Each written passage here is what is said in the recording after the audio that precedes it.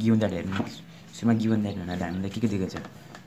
A comma B comma C are AP comma and X comma Y comma Z are in GP which means means B is equals to A plus C divided to B भनेको यहाँको arithmetic mean भनौँ न अब arithmetic mean अब अनि यहाँनिर के हुन्छ भने यसको जियोमेट्रिक मिन भनेको Y equals to root under X Z equals to X to power one by two into Z to power one by two किनभने रुट एक्स भनेको X to power one by two हो नि त। अब हामीलाई के छ प्रुभ गर्नुपर्ने टु प्रुभ के छ? X to power B minus C into Y to the power C minus C into Z to the power A minus B equals to one यो एलआइजिएस इक्वल्स टु के छ भने हामीलाई? X to the power B minus C into Y to the power C minus A into Z to the power A minus B equals to X to the power B minus C हामी त्यही लेख्यौँ होइन?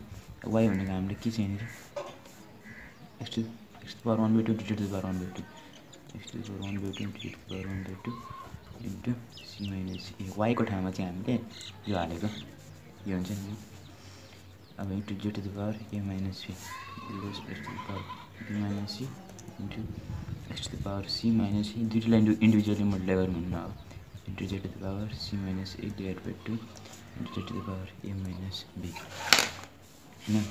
अब यहाँनिर x टर्मलाई होइन अब यहाँ base एउटै छ भने चाहिँ पावर तपाईँले जोड्न मिल्छ। भनेपछि प्रोडक्ट फर्ममा पावर जोड्न मिल्छ। X to the power B minus C plus C minus C divide by two होइन? जेडको पनि अलग्गै दुइटा भयो होइन?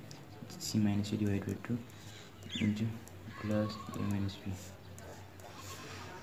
X power to B minus two C plus C minus A divided by two into जेडको power C minus A by plus two A minus two B मोडलाई गरेपछि होइन?